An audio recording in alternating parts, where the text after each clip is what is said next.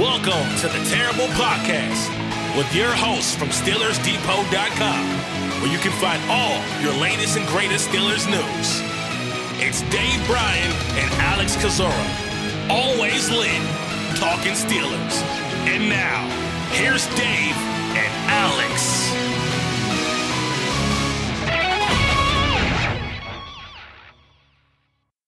Welcome to the Terrible Podcast, Season 13, Episode 137. He's Dave Bryan. I'm Alex Kozora, SteelersDepot.com. Thanks for being back with us here this Wednesday, Steelers Nation. Dave, we are in the middle of the second week of Pittsburgh Steelers OTAs, getting to hear from new Steeler Markus Golden on Tuesday. Team back out on the practice field for Wednesday and Thursday. New still fairly slow overall, but how you doing, Dave?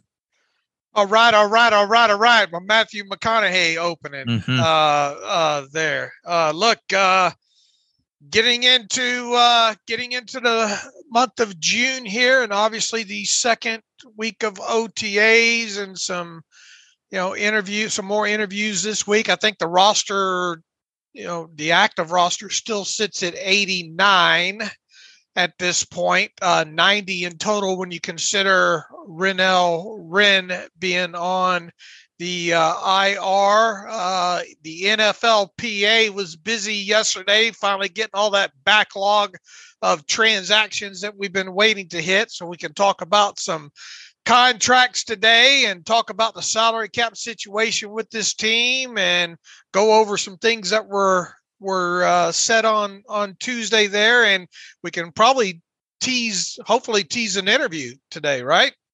For for for Friday's show. Yeah, we'll uh we'll just say hopefully this is going to be a really notable and fun interview that we'll have for Friday's show. So we'll kind of leave it at that, but I think it's going to be one that you guys are going to be excited to check out. But yeah, Dave, right now for Pittsburgh, Markus Golden speaking to the media as we just mentioned on Tuesday, thought it was a, you know, really good interview overall, saying all the right things. And if you look at that combined with the contract he signed for, which you can go in, into details of, he really wanted to come to Pittsburgh it seems like.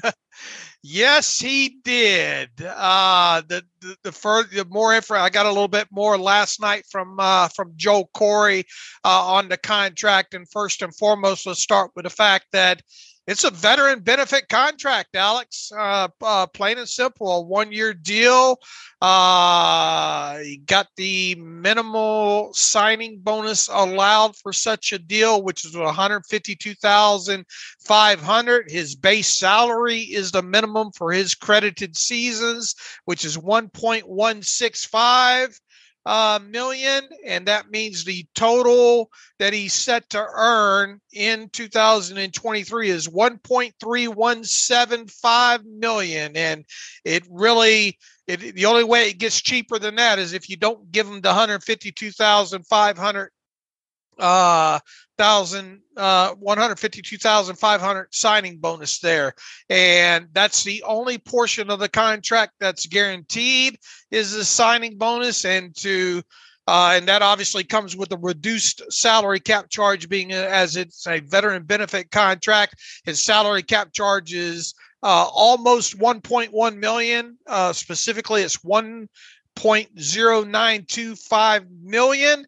And it's got a split salary uh, uh, clause in it as well too, meaning that if he goes on uh, IR uh, reserve injured list for any length of time, his salary while he's on there is just six hundred thousand uh, uh, as a salary split on that. So once again, I mean, I if, there's there's zero uh, things that you can find wrong with them, at least what I've seen so far, when it comes to his tape and his contract and his demeanor, uh, all of that involved. Uh, you know, this is the same Markus Golden that last year with the uh, Arizona Cardinals earned, I think his uh, cash payout for the year was 3.67 million uh, overall there. So you really got a good deal with this. Obviously, he is up in age. Didn't have the the, the, the best statistical uh, season, obviously, in 2022. But I did like his answer uh, uh, yesterday when talking about you know you know not having the sacks that he had the year before, and he basically said, "Look, you know sometimes you you you know I didn't do anything different. Sometimes the sacks come, sometimes the sacks don't." Uh, so once again, you know, I, I, I think looking at this from where we are right now at this point of of the off season and obviously him him only being a steer for for roughly a week week or a little longer here uh everything looks good yeah it does and yeah to see that split salary too usually that's reserved for guys that are just trying to fight to make the roster. So to see that you know included in that contract uh, is it almost a concern of how cheap this deal is? Do you kind of wonder what are what are we not what are we missing on markus golden? Because everything else seems on paper to be a really good fit. Yeah you know i and and I put this out on Twitter after he was signed. It's going to be kind of a hard hard contract or a hard value to kind of gauge, you know, anywhere from probably what he made last year to a veteran benefit deal, uh, just because a he played what 781 defensive snaps last year. Yeah, the uh, uh, statistically, it wasn't the best season in the world, but I think you would agree when you go back and look at the tape from last year. I mean, it, it he looked uh, like he played, you know, uh, better than than a minimum salary player overall. He's been around the league. He's obviously, you know, uh, uh, got some pass pass rush moves in him, like the hustle in him, like the play against the run there. Uh, I don't remember there being any any huge health concerns uh, when it comes to him, other than than than a uh, uh, contusion of the birth certificate, if you will. but uh, it it is it is. I'm I'm mildly shocked that it came in as cheap as it did. Now, you know, once again, he got cut by the Cardinals back right before the start of the new league year in March. Obviously, remained unsigned uh, for all this time, and then you know these guys once they get past the draft, they're exploring their options. They get into the first week of OTAs and are looking around and and nobody wants them. So there is a a a at least a little bit of concern that makes you say, you know, why couldn't he have signed this same contract with another team before now? Or you know, is this really what his market value is at this at this point? Does this mean that you're not going to get any production uh, out of him uh, uh, or anything more than last year? I mean, even if you just got last year's production out of him, especially against a run, right? I don't, I, I, I, I don't see anything wrong with that. You, you would think with with the guys that he's you know going to be filling in for and, and playing opposite sides of, some of those sacks are just going to happen because guys get run into them, you know, mm-hmm. uh, uh, that way there. So uh, we'll see. But once again, I mean, I you know, th- this is a huge bargain for a guy with that experience, but uh, that's a long answer to just saying I, I, am a bit surprised it did come in this low.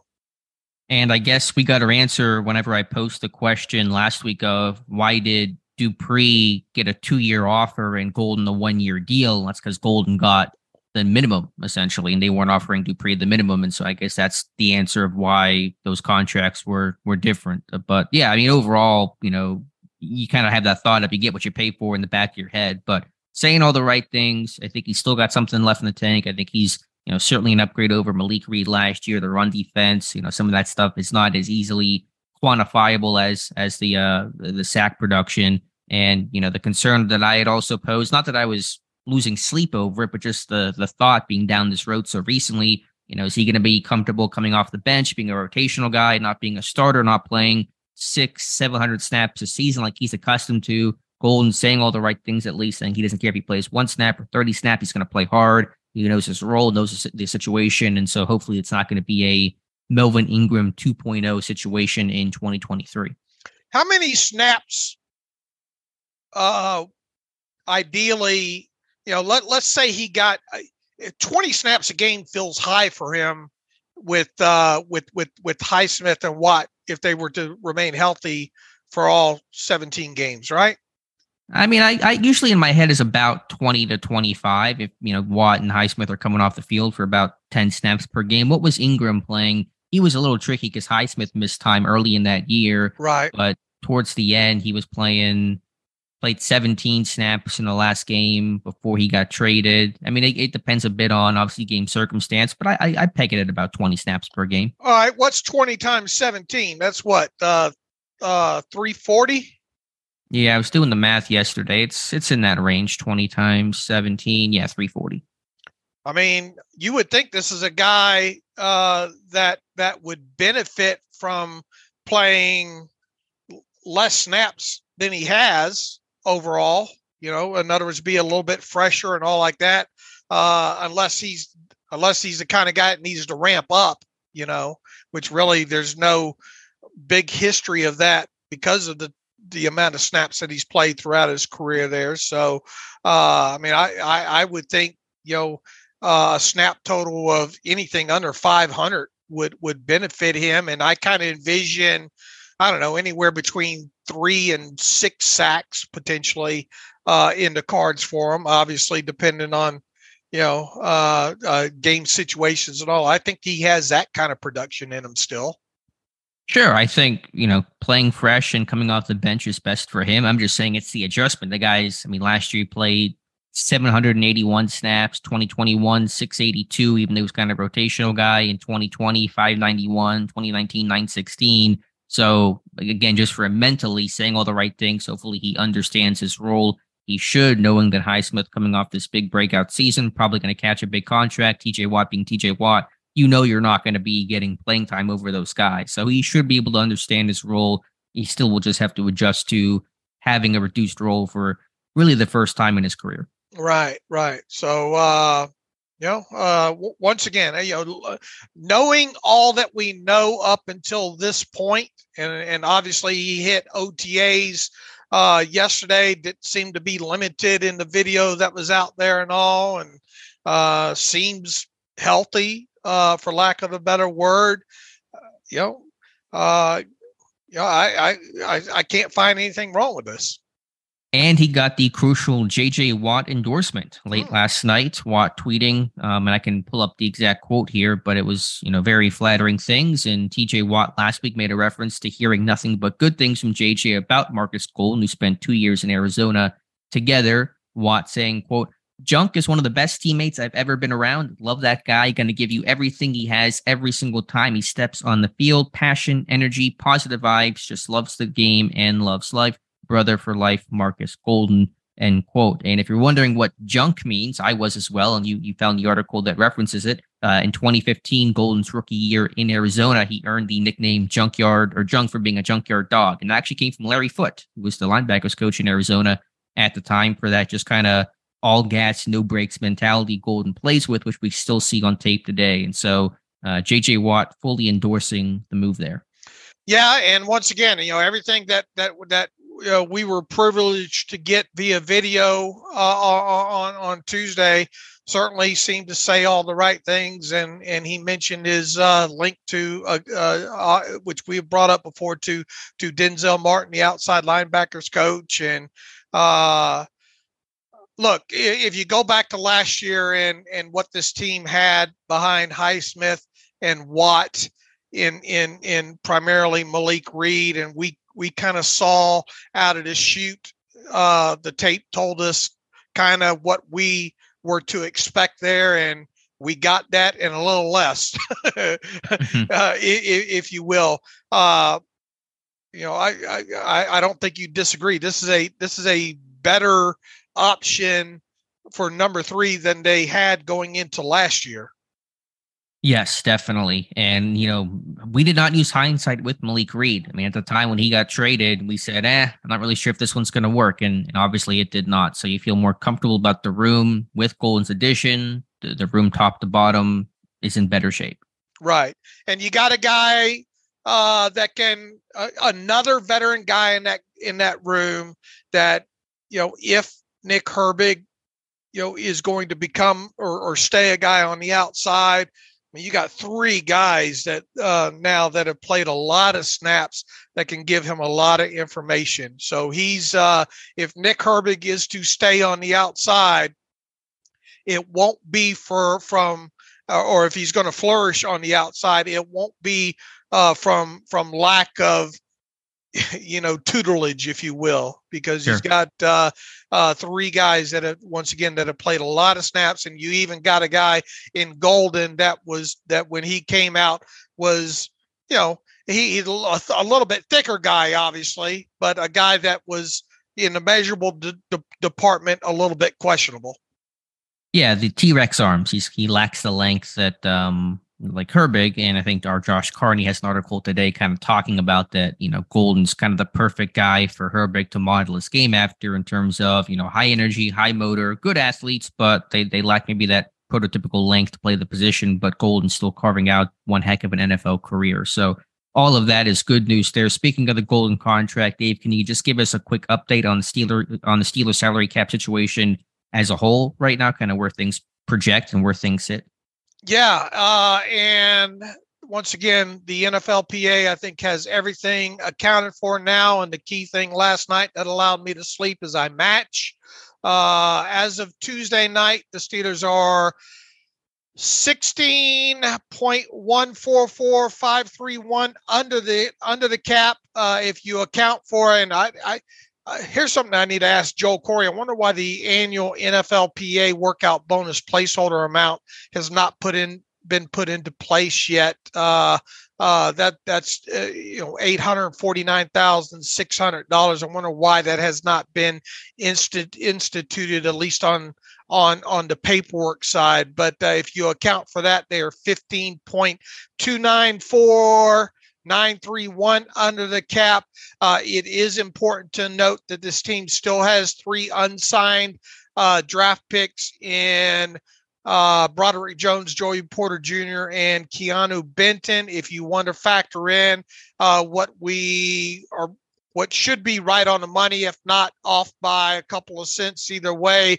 Uh, the slotting estimations for those three contracts, according to the current rule of 51, that'll use another 3.285 million in salary cap space. So if you want to look at this realistically as of Wednesday morning, uh, I have the Steelers at uh, projected to be a little more than $12 million under the cap uh, uh, right now if you want to account for their remaining unsigned draft picks and and the outstanding NFLPA workout bonus placeholder amount. So 12 million under. You know, they obviously have forthcoming charges that we like to keep reminding people about things like the end of rule end of the rule 51 with the 52nd and 53rd player a full practice squad. You know uh, how many how many guys are they going to have on ir eating up some space that that need to be replaced at the start of the season? I budgeted three million dollars for that. Uh, you know, once again, I'm expecting this team to, to carry right around a nine million dollar in in in season reserve amount there. So, you know, if you want to look at all the projected cost that this team has between now and week one of the regular season, that would put them almost $5.5 million in the hole when it comes to being uh, uh, cap related. However, you got that TJ Watt restructure at some point. It's going to happen, I think, between now and week one. And if they did a full restructure on that, they'd be seven million to the good. We also have to remember that you know Alex Highsmith probably going to get a contract extension at some point during the offseason. That's likely to use up probably between three and three and a half million of that. However, there's also to keep in mind that the way the rule of 51 sits right now is probably not the way the top 51 is going to look come week one, meaning that you know you could have some guys such as Kevin Dotson, Gunnar Olszewski, Montravius Adams, Miles Killebrew, just to name a few that might not be on this roster. And if those those guys are replaced by uh, minimum salary rookie or first year type player deals, there's going to be some cap money to be uh, saved there. So, uh, long story short, this team's in fantastic salary cap uh, uh, uh, shape at this point right now, the off season. I envision there's actually probably two or three million that they could use to maybe go go elsewhere uh, if they wanted to sign another player or two, and especially if they're going to plan on doing a full contract restructure on Watt.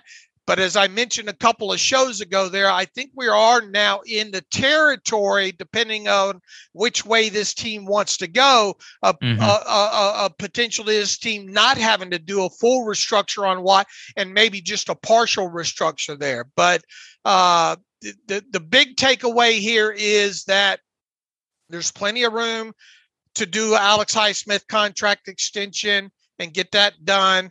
Uh, there is enough room to maybe add another player or two of you know a couple of million or so uh, uh, cap hit. You know, should should that opportunity present itself. I was going to ask you, and you kind of just referenced it. You think uh, if you had to guess between a full Watt restructure and and a partial, where you don't take that base salary down to the minimum, which way do you think Pittsburgh goes? I still think they're going to take the whole thing, just given some of the other moves that they're going to have to make. But what are your thoughts? My gut tells me that it'll be full still, but we also don't know what their plans are, you know, and that that mm-hmm. that makes it, you know, is is there another guy or two out there uh, of of of a lower kind of, and, and also when you when you think about, I mean, if, if, I were to ask you right now, will all of Kevin Dotson, Gunnar Olszewski, Montravius Adams, and Miles Killebrew, will all four of those guys be on the week 153 man roster? No, I would say no pretty comfortably. But I guess my thought process there is can you bank on that? Because the Watt restructure might come before those decisions have to be made. You know what I'm saying? If you right. if you bank on those guys not being there, then somebody else gets hurt, and all of a sudden we have to keep a Dotson or an Adams you didn't account for. You know, then you're kind of in a trickier situation. So it's hard to uh, assume that you know it, that being the case come September 10th. And look, in, in my projected numbers, there, there's a little bit of slush in there as well too, right? Because I, I I'm predict I'm, I'm predicting that this team uh, you know we'll need to have you know an extra three million to cover for whoever might be on IR uh, come week one, uh, and and also you know, I feel for and, and I've, I've felt pretty firm about this for a while. You know the the, the history the last couple seasons is they want nine million dollars just in free space overall on top of everything else to go into a season with for in-season replacement fund or or, or elevations or, or anything along those lines. So my gut still tells me that they they they will do a full contract restructure on Watt. But once again, we don't know what the plans are. We don't know what the outlook is on injury. So at I am at the point though that I won't be surprised if they don't have to do a full restructure on him. They're still going to, I think, do some sort of restructure on him. It mm-hmm. just, I think we're in the neighborhood now. Is this is this only going to be a half restructure? Is it going to be a full restructure? Something along those lines. But I mean, the main takeaway here at this point of of the off season coming up on June first is they they have more than enough room for the now and right. by the by the now meaning they can go out and sign another player or two. They can they can comfortably do uh, an Alex Highsmith extension and, and and like I always like to say, you got you have to draw lines in the sand when it comes to tracking the team's salary cap situation because things that are that you know the future cost are things that don't have to be worried about for a while now. So even if you take out some of those things and factor in some sort of Watt restructure and and and a Alex Highsmith uh, uh, extension, it still feels like there's there's two or three million dollars to play with there. Sure. No point point taken in Pittsburgh. Certainly in a in a pretty good place right now. Just want to get your quick thoughts as well. Not that we're feeling anxious about it, but in terms of when these draft picks, uh, the, these deals get done for the top three for Jones, for Porter Jr., and for Benton, any idea on a timetable? I know Skoronski just signed his mm-hmm. deal that was a little higher slot, but still just kind of, you know, getting some of those guys around Broderick Jones. Hopefully that one can get done soon just to get that one signed, sealed, delivered. Yeah. Uh, and I, I think they're starting to fill in some holes around where Keanu Benton is. If I had to guess, uh, it would be Benton probably coming sooner rather than later. Mm-hmm. And then probably because Broderick, we're Broderick, there, there, there's not much to really negotiate when it comes to his slotting. If he was around 20 or so, uh, it'd be one thing, but where he was picked, I mean, it pretty much dictates that it's going to be a fully guaranteed deal. And, and is there offset language to haggle over a little bit? Pro- probably not as much as if there was if he was like you know 18 19 20 along those lines i mean to me it okay. feels like it's going to be pretty cut and dry so uh, i would venture to guess that it will go and and as we had to talk about joey porter jr that's where i think most of the the, the haggle's going to be yeah so, i think he's last to sign yeah i i think it goes uh uh broderick i mean i think it goes uh benton Broderick Jones, and then Joey Porter uh, Jr. Uh, I, I, think that, that, that's the way that goes. I still think all three of those will be signed, sealed, and delivered by obviously the, the start of training camp. Mm-hmm. Uh, I guess the question becomes is how long uh, after mandatory mini camps do do do some of these run? Right. We'll be watching that closely. Again, not a not a cause for concern, but something to know since we're talking contracts and cap right now. Speaking of delivered, uh, linebacker Mark Robinson had a delivery to the end zone yesterday, reportedly in Tuesday's practice, pick six, uh, pick sixing Kenny Pickett. Now it's it's OTAs, they're in shells. I saw some people criticizing Kenny Pickett for this. No one should be doing that right now. Just uh, you know, talk about the guy that made the play on the positive end of things, and that's Mark Robinson getting extra first team reps with Cole Holcomb, who looks healthy and good, but is only in individual positional work right now. It's not been uh, has not graduated to the team work. Hopefully, he will maybe mandatory minicamp, but certainly by training camp, he should be good. But Mark Robinson taking advantage of those reps. And, you know, I've talked him up quite a bit. That's probably the number one guy. I mean, obviously, Kenny Pickett, George Pickens, but in terms of guys that you really want to see more of that didn't get to play a ton their rookie year, I really want to see Mark Robinson in your number two. Again, being that former running back, converting to linebacker one year in college, really being more comfortable. Now he's in his second NFL year, third year playing linebacker. He spoke about how he feels a lot more comfortable and confident in what he's doing right now. So I could really see a big jump in his play. And it sounds like he's making some plays already this spring. Yeah, this is the old uh, split the fan base in half off of uh, uh, one report, and we haven't even seen the play. Uh, uh, yeah, I told you Mark Robinson's going to be something. Yeah, I told you Kenny Pickett's going to be a bust or you, you know th- th- those kind of things look I, th- these kind of things are going to happen you know throughout otas throughout mandatory minicamp throughout training camp there's going to be highs and lows on both sides of the ball. Uh, uh you know that you know it, it's it's it's not freak out time or anything like that. Uh, it's one report. You know I, I i think the main my main takeaway out of the quote unquote report is hey, it's good to see Mark Robinson making a play, and and uh, just leave it at that. You know, uh, uh, I don't, you know, I, I didn't think, oh Christ, Kenny, you know, uh, mm-hmm. or, or, or anything along those lines. Uh, this is a young player, Mark Robinson, that that you know barely got to cut his teeth uh, last season, and uh, a guy that, uh, according to to the interview uh, text that's out there, uh, you know that uh, seems to be more comfortable as he should be going into his his his second trip around the sun, if you will. And you know, I, I once again, I think the main takeaway is, hey, good, Mark Robinson made a play, good for him. Do you think who do you think starts? Because I've kind of been on the uh, had the opinion that Robinson really could still work over Landon Roberts to open up the year. I know that probably most fans think that Roberts will be the guy, just given that he was signed and it's a two year deal, and you know he started all of last year um, for the uh, what was he Miami last year. But do you think there's a chance for Robinson to to get the the nod over top of Roberts? I'm gonna I'm gonna give you an answer that that uh, that justifies why why we earned the big bucks, right? Oh, uh, here we go. I don't know. uh, And look, as I as I've learned to do over the years when doing this, uh, I like to trust my eyes with what I see, and I am not fortunate enough to do that until uh, the preseason gets underway. Uh, you obviously get to do it during training camp, and I take a lot away from what you uh, see and report and all like that. But uh, to me, it, it's just it, it, it it's it's too hard to really go on either side of the fence right now. I mean, this is a kid. How how many snaps did, did Robinson play last year?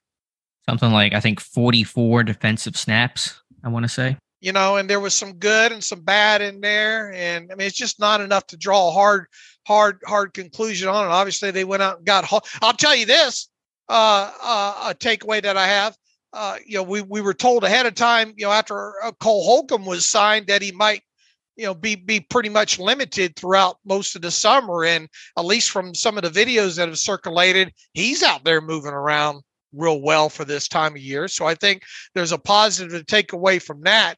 Uh, we obviously know what Elandon Roberts or what we think Elandon Roberts uh, brings to the table in there uh, as, as far as a, a second you know linebacker that can you know be in there on early downs, specifically run downs and stuff like that. I, I just I think it's too early to sit here and and be on one side of the fence versus the other and say, yeah, I think week one we're going to see Holcomb. If if two linebackers are out on the inside linebackers are out on the field, it's going to be Holcomb and Mark Robinson, or it's going to be Holcomb and Elandon. I just think it's too early to call that kind of stuff. Sure, I'm not I'm not trying to call anything. I just want to open up that possibility because I really think Robinson's going to have a strong camp and, you know, continue and pick up where he left left off last year. And he's got and I know Roberts is a is a similar dude in terms of downhill, facing the fan, not afraid to hit you, but Robinson I think maybe that you know his game's going to hopefully accelerate you know exponentially not just on this kind of slow uptick but hopefully a really big jump in that in that second year. And i think he could really make some plays. It's going to make it at, the least, I think Pittsburgh's going to have to find a way to get this guy on the field defensively because there's going to be some really good value of what he can do against the run, against AFC North teams in a tough physical division. You want guys like Mark, Mark Robinson out there playing for you. What are what are what were your hardest takeaways from the 40 something snaps that Mark Robinson played last season? I didn't think the moment was too big for him. I mean, obviously it wasn't perfect, but he was the same dude that I saw in in the summer in training camp and the preseason. He's downhill, he's quick trigger, he's physical, he wraps up, he hits you for sure. Um, I don't think he's a total liability in coverage. I think there's you know, certainly work to be done. He's never going to be a a dime linebacker, third down, you know, type situation guy, but he, he's a lot of Vince Williams in his game. And I thought when he got out, got out there on the field, he held his own. I guess if your main question is, do do I think it could happen that we could see Holcomb and, and, and Mark Robinson be the be the opening tandem? Yes, I think it could. Okay, fair enough. And so obviously Robinson will have to continue, and you know Roberts will will, will not be a pushover, and he's got the more extended resume. And again, he's cut from a similar cloth as as Robinson, so it's not that Robinson's skill set will be incredibly unique. I just think he could really have a strong summer that's going to compel this team to find ways to play him. All right. And a long summer it is. Yes, it is. All right. What else do we have here, Dave? Just kind of a quick note on DeAndre Hopkins. We'll see where he ends up. Now, officially been released by the Arizona Cardinals. Sounds like there's some AFC North teams that are in those waters, fishing in those waters, as Mike Tomlin likes to say. Not Pittsburgh, but Cleveland and Baltimore have been linked to Hopkins. So have the Chiefs and Bills. Maybe there's some dark horse team that emerges as well, but uh, could be facing D Hop twice a year, Dave yeah, it'd be interesting. He went out and got an agent now and uh, going to be, uh, you know, I, I, think there's been, I think everybody's just speculating at this point, though. I don't know if there's really a true leader in the clubhouse, right? I mean, Deshaun Watson uh, saying what he said uh, on Tuesday is not surprising because obviously those two played together. Uh, I, I, do think that there is a potential uh, fit for him with Cleveland uh, Peoples. Uh, they've got uh, Mari Cooper over there, right? And and and uh, Donovan Peoples Jones sort of kind of came in, has been coming into his own. I think they went out and got didn't they get Mark uh, Marquise uh, uh, uh, Goodwin. Goodwin. Yeah, they got him, Elijah Moore. They draft Cedric Tillman, so they've certainly made changes to that wide receiver room. Right. So uh, for for the right price, could they find a way to to put him uh, uh, on that depth chart? I I think so. Uh, and and you know, but you know, I think Buff- uh, Buffalo and the Chiefs are other speculated spots. You know, I think there was a report that, that Baltimore did their homework on him. He might not end up in any in any one of those four. So I think it's just one of those. You know, uh, let's table the, the, the discussion on him until we do find out uh, where he does land. Look, if he does land in the AFC North, though, uh, with one of those two teams, you know, it it it, it it's just another experienced guy that the Steelers have to worry about, you know, for two games a season. Yeah, another top receiver. I know that Hopkins, you know, is kind of closer to the back end of his career, but still had a really strong 2022 after he missed that the, the opening with uh, that suspension that he had. So still a big threat. My, my gut says Buffalo. I know there's kind of been mixed reports to maybe Buffalo's not quite as in it as I originally thought, but my gut still says he ends up a Bill.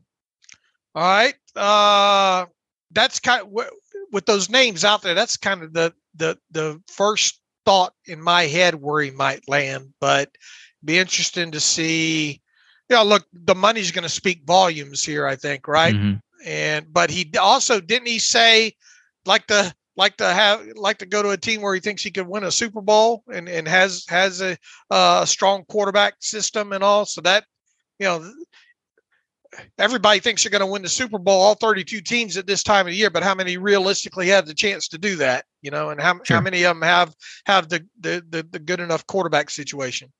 Yeah, very very few, and that's why Buffalo I think makes a lot of sense. But we'll we'll see what happens. It might might not get our answer today or tomorrow, but maybe in a couple of days. So, anything else here, Dave? Again, new cycle, pretty quiet right now. Jaylen Warren, it, it, it, really is off-season season when we're talking about some pony backfield stuff. Jaylen Warren said maybe him and Najee Harris can get on the field. They actually got on the field a couple snaps together late last season, but Warren said the team's kind of toying with that idea here in May. Yeah, is it already that time of season where we're talking mm-hmm. about about that? Uh, you know, uh, I'll say what I've learned to say over the years. I'll believe it when I see more of it. You know, uh, look, I'm all up for them doing a lot of different things on offense, personnel groupings, and and things that that we haven't seen a lot of uh, in in in recent years. So uh, I welcome that that that kind of stuff. Now, look, you are you going to see 25 percent of the snaps be that? No, uh, but uh, uh, I, I think Jaylen Warren, he's a fun kid to listen to, isn't he? I mean, I mm-hmm. he he is a kid that just gets it. I think that uh, you know, basically, you know, uh, got to continue to prove himself and and you know, like what we saw out of him uh, during his rookie season, showed that he can catch the ball out of backfield, showed that he can run with the football. Uh, I, I remember pulling up that play uh, just uh, in this past week of him, uh, Kenny have getting flushed and kind of you know, trying to make a play and getting it to him behind the line of scrimmage on a third down and, and Warren fighting for that extra extra yardage there. And then, you know, look at uh, how how you know how he came into his own as a pass protector and and the, the game's not too big for him. So uh, if that means getting him on the field more, either to spell Najee or to get him on the field more in in in in, in some two running back uh, type personnel groupings, I, I'm all for it. I don't I don't think it's too big for him. No, it's not. And for a guy that's real salt of the earth, I mean, he had a heck of a journey to the NFL, light recruit, Snow College, Utah State, Oklahoma State, undrafted, make the team, carve out a role. I mean, it has been everything or nothing given for Jaylen Warren. And that's why yeah, you love this guy. You want you love watching him play and why he's got that team first mentality. I mean, I had the video and I still have that thought that he's as much fun to watch without the football as he is whenever he's actually, you know, carrying or catching the football. I mean, he's just an all effort type of dude. So, um, yeah, there may be some ways to get him out there in some pony stuff for a couple snaps. Obviously, will not be a staple or anything even close to that, but you know, you have some, uh, I think, a lot of versatility and flexibility with your formations, your personnel groupings this year, and that's going to be, you know, something that should make this offense better out of everything that's come out of OTA so far, which obviously isn't much, uh, what what has you the most concerned?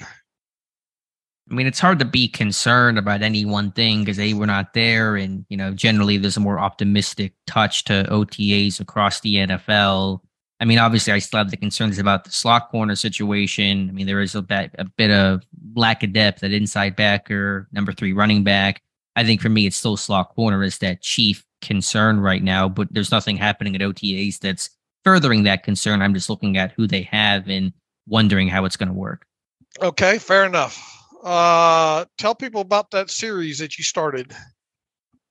Yeah, uh, we had one. I kind of two, well, a mini one going right now, uh, ranking the Steelers off-season main editions. This is a two-part series, but I'm also doing a, a longer series on the top ten single-season performances in Pittsburgh Steelers history. So the best individual player seasons in any one season in franchise history. Number 10 was Louis Lipps in 1985 for a thousand yard season and averaging almost 20 yards per catch with a rushing touchdown and two punt return touchdowns. Became the first receiver in NFL history to have a thousand yards receiving and two punt return touchdowns in the same year. Still only one of four players to ever do that. At number nine was the guy we just talked about, Le'Veon Bell, in 2014 with over 20, uh, 2,200 yards from scrimmage. That's a Steelers record, 23rd all time and so we'll be working down the list from uh, 10 to 1. And uh, it's a really hard list to put together. I was finding out there's a lot of good candidates on there. I wish we could make this list of 20, but keeping it at 10. But um, there's going to be some interesting names, maybe a couple names you don't expect to be on that list that will be on there uh, later this offseason. How would you grade the Steelers' entire offseason uh, to this point? Everything the draft, free agency, uh, uh, cap management, uh, contracts, uh, the whole the whole kit and caboodle, releases. Mm-hmm.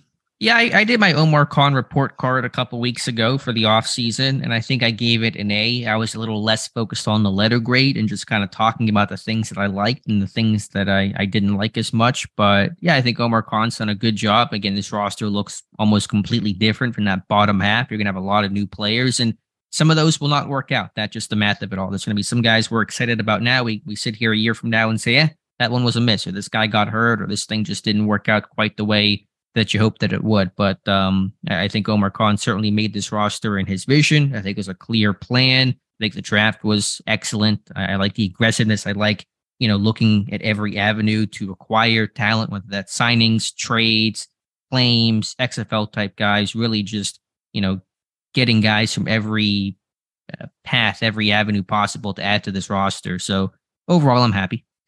Would the biggest surprise to date this offseason be the early release of Arthur Maulet?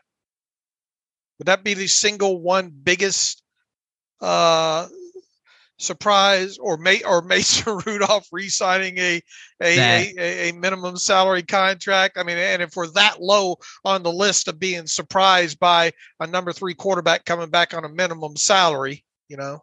Sure, just didn't expect it to happen. I mean, I still think the Allen Robinson deal came out of left field, but I don't. I mean, it was a it was a good move. They gave up nothing for this guy. I think he's going to have a role, going to be able to contribute. So yeah, I would say the the top three unexpected moves this year were the Robinson trade, Rudolph returning, and Maulet being released, although it sounds like that was more Maulet pushing his way out and not Pittsburgh on their own voluntarily cutting him.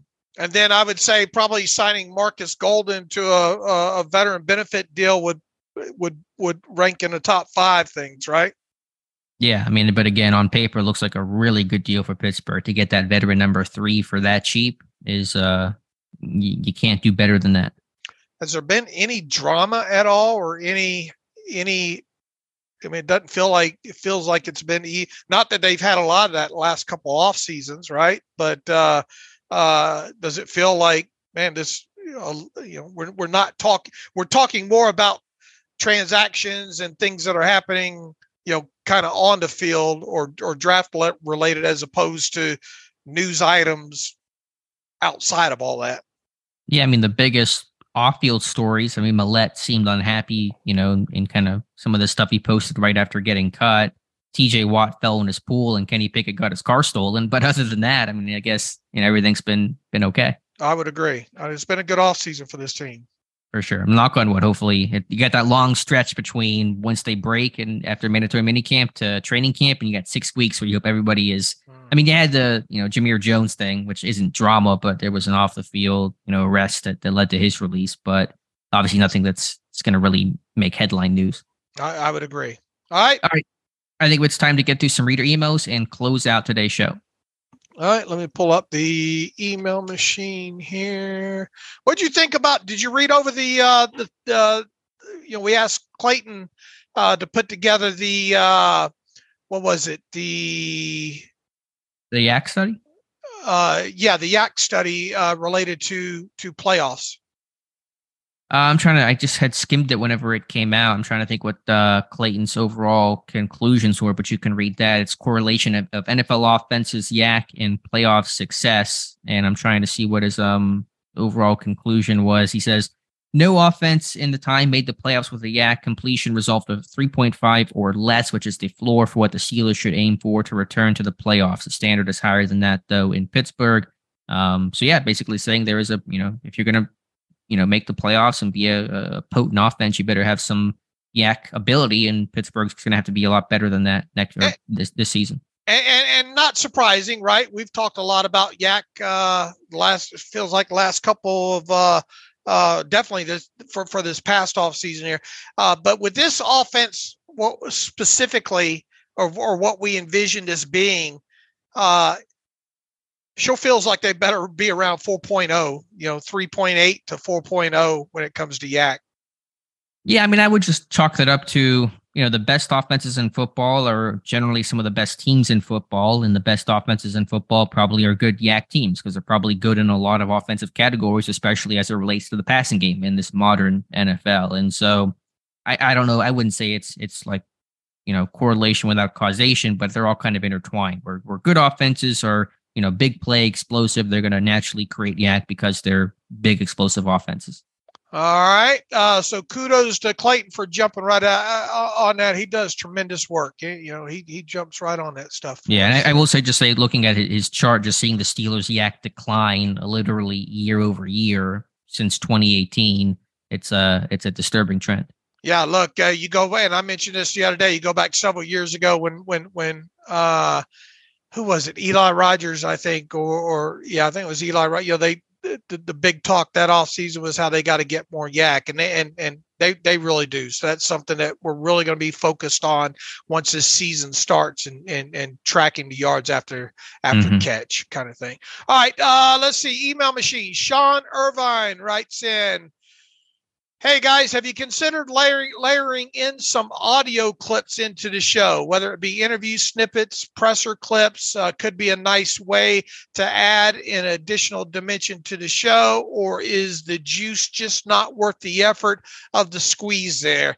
I mean, we've thought about it and all. You know, I, have toyed with uh, uh, doing stuff like that, but you know, I, I, I you know the editing portion of that versus the return. And look uh, most everybody a, a, a, lot of people that that that listen to this show i think at least stay in tune with either uh, the text or the, or the audio that comes out across the internet related to this stuff. And usually if there's anything worth talking about we usually try to quote unquote uh, uh, this, that, and the other. So uh, my my my takeaway or my, my quick answer to your question, Sean, would be uh, the juice is not worth worth worth the effort there because it creates more editing uh, uh, things, and uh, you know, obviously, you know, we don't you know we don't get the audio clips ourselves, so we're not you know we don't own those per se. So it it you know you you kind of potentially set yourself up for more problems that way. Yeah, that's certainly a concern. I, have thought about trying to add something, some other uh, outside audio for my terrible takes, but just given the time and trying to find when's the right time to put some of that stuff in, I haven't. But yeah, I think Dave and I are always thinking about different things we can do and ways to improve and you know add add new things to the podcast and in the site. So it's a it's a worthwhile thought. And look, we you know we we come up with some outside interviews from time to time. We hope to record one tonight. It'll be in Friday's show that we think you all will enjoy. So uh, we'll we'll we'll keep efforting those kind of uh, additions to the podcast here. Uh, Brandon writes in. Uh, he uh, wants to know about Cameron Dantzler, the cornerback who was cut, I think yesterday by the Vikings, right? Uh, yes. He says can't hurt but not at 2.7 million if that's correct. Uh, yeah, look, uh, you're not a guy that you're going to claim off waivers, but uh, I mean, we'll see. I went uh, um, right after that news broke. Seemed like they talked. He was a guy that they talked to at the combine a couple years ago. He he's the Southern Miss kid, wasn't he? Or Mississippi? State? he was Mississippi State, State, Yeah. I think. Yeah, he wasn't Southern Miss. Um, I can look up for sure Pittsburgh's interest in him. Uh, he went to yeah Mississippi State. Uh, I thought they talked to him at the uh, combine that year. Probably. Uh, I can I can check here. Maybe try to hopefully quickly pull up. He's had some. He's had a couple of injury concerns uh, though as well. I think when he's played, he's played okay, but I think uh, the injury knock. I mean, the fact that they're you know for for just a 2.7 million salary, that they, they've decided to part ways with him uh, on that. I mean, look, I, I, I say it time and time again. I, I'd, I'd sign Alex for a minimum sa- salary Mhm. benefit contract. I don't know. We, they, they, they need the roster spots there. So no offense, Alex. And uh, I can't be number ninety. No. yeah, you're you're you're. Uh, I, I think your arms are a little short as well too. hey, if Nick Uh, Herbig can make it, I can make it. Uh, but uh, I mean, I, I guess long story short, could it be a guy that they'd be interested in a, in uh, when it when it comes to a minimum salary? I'm not going to say no. They did meet with him at the combine uh, in 2020, but he didn't run well. I think he profiles more as a zone corner. He was in Minnesota, in Washington, and so those are kind of more zone-based teams. Do you need another outside corner? I mean, doesn't hurt, but I don't know if you really need another at this point. You signed Barcoo from the XFL. Yeah, I'm not going to say that it's not going to happen, but I don't really see the uh, the big pressing need to go get him. Uh, and if they did, it would be a minimum salary there. Mhm. Uh, Can I interrupt you real quick yeah, on emails? I meant to ask you one more thing about uh, some very small piece of news that came across. Did you have any issue with George Pickens' comments about he said he was a Pro Bowl snub in 2022? Felt like he should have made it over some of the guys who did. So ostensibly that means making it over Stefon Diggs, Tyreek Hill, Ja'Marr Chase, etc. Is that just you just chalk that up to standard receiver talk? Do you have any sort of issue with that? I don't have I don't have a problem with him saying that, but I mean, I, I think anybody, I, I, think it's a reach to say that he was snubbed. Oh yeah, I mean, obviously, I think it's you know totally not correct, but obviously, you know, Pickens is going to be the most confident guy in himself. Right. Um, I, I, I- some people say, you know, is this a red flag about him getting too too diva like, too full of himself? I, I I wouldn't go that far. Um, I think Pickens is a pretty confident dude. I don't think it it crosses that line, but you know, just says that he he wants to be better and it kind of keeps setting his goals higher and higher. Right. And uh, once again, I don't, have a problem with the words coming out of his mouth, but I mean, I Okay. think I, I, I- I think he's wrong, but uh, uh, hopefully we're having those conversations where you know he's a Pro Bowler, or or if he doesn't make it, that man, can you believe he got snubbed? Le- you know, legitimately got snubbed, ki- kind of thing. I think that that that would obviously be a good pro. eh, Look, eh, uh, quite question, uh, and I put this up on a poll oh, a week or two ago or whatnot. Will any of these three, or will any wide receiver, will any uh, player on the Steelers in 2023 have reached the 1,000 yard receiving mark? Yeah, I think so. Um, I wouldn't even rule out two. I would not rule out Diontae making it if they use him more YAC friendly. I mean, he still had almost 900 despite no touchdowns and you know a terrible decline in in YAC. And Pickens was over eight 800, I think, and I think he's going to be a downfield threat and probably you know add to and expand his route tree. So I, I wouldn't even rule out both guys getting right around uh, four digits, but I think certainly one of them will end up being there. So you'll guarantee one of them ha- having at least one 1,000 yards? Because here's my thoughts on it. I, I, think if they run this offense and have the success they want want want to have, they're going to run the football uh, successfully and they're going to spread the football around quite a bit. So, uh, and I don't I don't necessarily I think you can win and be a competitive team and be a playoff team uh, without a a a, a uh, 1,000 yard uh, receiver. So I, am not I'm, I'm not saying that that's a negative, but I'm not I'm not 100 percent convinced that they'll have a 1,000 yard receiver in 2023. Yeah, I don't want to guarantee anything because the structure of the offense is not as friendly to that as as many others in the NFL. But I mean, Pickens was at 801 last year on 52 grabs. I mean, can, can he get 200 more yards in a year two, wherever he's going to be more involved in this offense and really hit the ground running? He can't get 200 more yards out of this thing. It's possible. Yeah, and Diontae, what what, what was Diontae's final number last year? 850 something. It was 882. He can't get 120 more yards, and his yards per catch can't go back up to around 11, which is where it was sitting for most of his career prior to 2022. Yeah, but how, how how many yards did they get out of the slot last year, and and how much will will go that direction this year or sure. to the backs? You know. Yeah, I get that, but I mean, we think Diontae's gonna have better YAC. Like his YAC should hopefully return to a more normal number, and that that might cancel out, you know, losing some. I mean, losing a couple of targets here and there. Uh, I you know, I, I what I'm trying to convey here is I could see uh zero to two. Uh, I I just don't think it's a slam dunk. You know. Okay. Yeah, I don't think it's a slam dunk either, but I, I think I, I would bet on at least one, and I don't rule out two happening. All right. Uh, this one from uh, Chris Furlan writes in taking everything we know on paper into consideration, how many wins and what sort of stat line do you need to see at a minimum to believe this team made the right choices and are at least trending in the right direction? Thank you both for your work. You guys are consistently one of the best sources and keep me from overreacting to everything this team does. That's kind of a loosely based question because he says stat line. Uh, what sort of stat line?